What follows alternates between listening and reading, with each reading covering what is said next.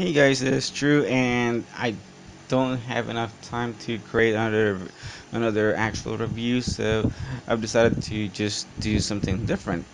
Um, if most of you have heard of this line, this short toy line that Bandai had made, it's the girls in uniform. When I say girls in uniform, these are the girls from both um, Kamen Rider and Super Sentai series turned into an anime-esque characters and then turned into figure form.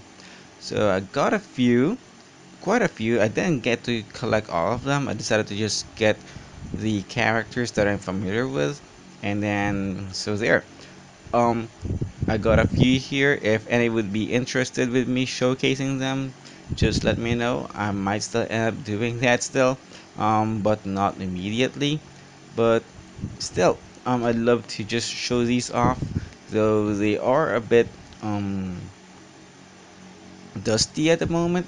But once I had them cleaned up, I'd love to show them off. So I only just have a few, and this line is already dis discontinued. I think. Um, the last one that uh, was ever released was from Geki Ranger or Gone or Go-onger. Um, but yeah, I love to clean them up, clean them up. Just make sure that we got no dust on them, and I'll show this off to all of you. But for now, I'll just show off a few pictures. So I hope you enjoy them, and let me know if you would want me to show off my very small girls in uniform collection. Alright, so thanks for your time, and I'll see you in my next video. Bye bye.